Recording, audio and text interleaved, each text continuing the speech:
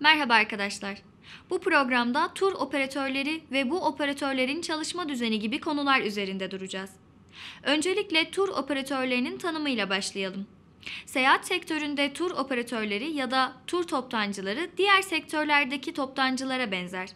Turizm sektöründe önceden hazırlanan ve bir araya getirilen turistik hizmetlerden oluşan paket tur üretimi ve satışı ile ilgilenen bir tür aracı konumunda olan işletmelere tur operatörleri adı verilmektedir. Tur operatörleri turizm sektöründeki değişik hizmetleri organize ederek turistik ürünün üreticisi olan işletmelerle müşteriler arasında aracılık yaparlar. Bu işletmeler genel olarak turist için hazır bir paket tatil oluşturmak amacıyla temel turistik hizmetleri diğer yan hizmetlerle bir araya getirip anlaşmalar yapan ve bu hizmetleri hazırladıkları kataloglar ve broşürlerle turistlere pazarlayan kuruluşlardır. Dünyada tur operatörlüğünün ortaya çıkmasında iki önemli gelişme ya da eğilim görülmüştür. Bunlardan birincisi geleneksel seyahat acentelerinin faaliyet alanlarını ve kapasitelerini genişletmeleri sayesinde firma yapılarının gelişmesi ve büyüyerek tur operatörü durumuna gelmeleridir. Tur operatörlüğü alanındaki ikinci eğilim ise turizm sektörünün gösterdiği büyük gelişme nedeniyle endüstrinin büyük firmalarının seyahat sektörüne ilgi duymaları nedeniyle tur operatörlüğü alanına girmeleridir. Peki tur operatörleri seyahat acentelerinden hangi özellikleriyle farklılaşır? Tur operatörü seyahat hizmetlerini birleştirerek oluşturduğu paket tur şeklindeki turistik ürünü satar. Bu nedenle seyahat acentaları perakendeci aracı, tur operatörü ise toptancı aracı, hatta bir, bir anlamda üreticidir.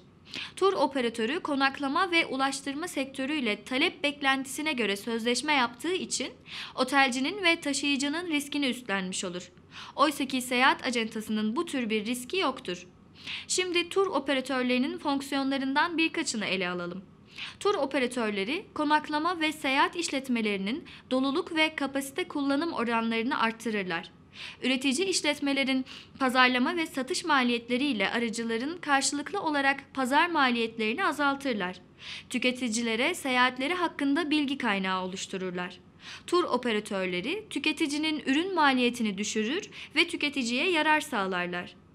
Peki tur operatörlerini nasıl sınıflandırabiliriz? İşletme yapıları bakımından uluslararası alanda 4 çeşit tur operatörü faaliyet gösterir. Bunlardan birin, birincisi bağımsız tur operatörleridir. Bu operatörler bireysel ya da çok uluslu şirket şeklinde örgütlenebilir. İkinci kategoride tur operatörü olarak faaliyet gösteren seyahat acentaları yer alır. Bu acentalar tur paketleri oluşturur ve kendi müşterilerine ya da diğer tur toptancılarına satar. Üçüncü kategori diğer bir işletmenin yan faaliyeti olarak faaliyet gösteren tur operatörleridir. Bu işletmeler genelde havayolu şirketlerine aittir ve onlar tarafından çalıştırılır. Dördüncü kategoriyi oluşturdukları ürünleri yalnızca kendi üyelerine satan seyahat kulüpleri ve teşvik seyahati işletmeleri oluşturur.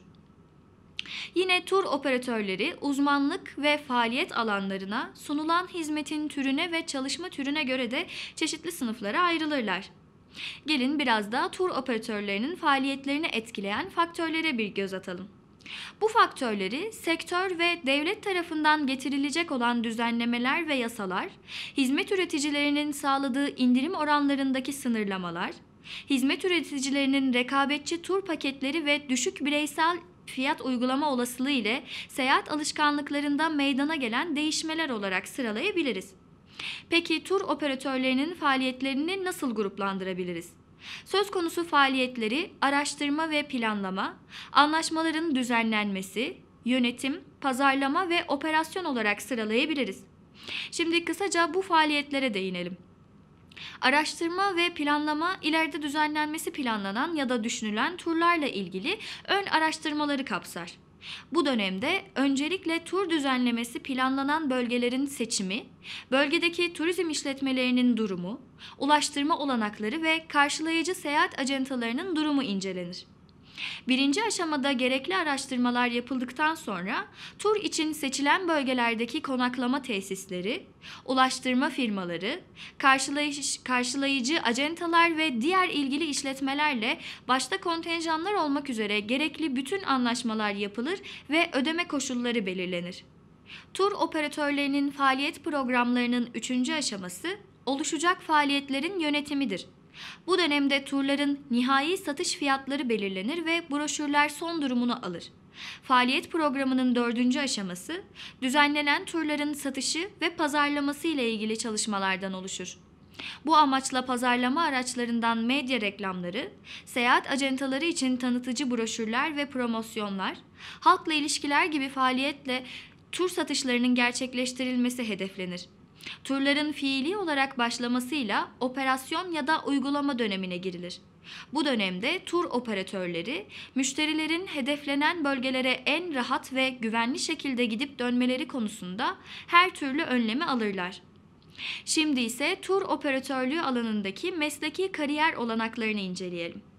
Bu olanakları rezervasyon elemanı, işletme içi elemanlar, rezervasyon müdürü, işletme müdürü ve diğer işletme işi içi görevler olarak sıralayabiliriz. Rezervasyon elemanlarının temel görevi tur operatörünün düzenlediği turlarda yer ayırtmak isteyen seyahat ajan, acentalarından gelen telefon, telex, fax gibi mesajları almaktır. İşletme içi elemanlar düzenlenen turların durumunu değerlendirmek, odalama ve yolcu listeleri hazırlamak için rezervasyon görevlileriyle bağlantılı olarak çalışırlar. Rezervasyon müdürü bütün yeni rezervasyon elemanlarını işe alma, eğitme ve onlarla görüşme yapma gibi sorumluluklara sahiptir. İşletme müdürü ise binadaki ya da bürodaki kendine bağlı bütün elemanların çalışmalarından sorumludur. Yine tur operatörlüğü ile ilgili diğer alanlardaki görevler de bulunmaktadır.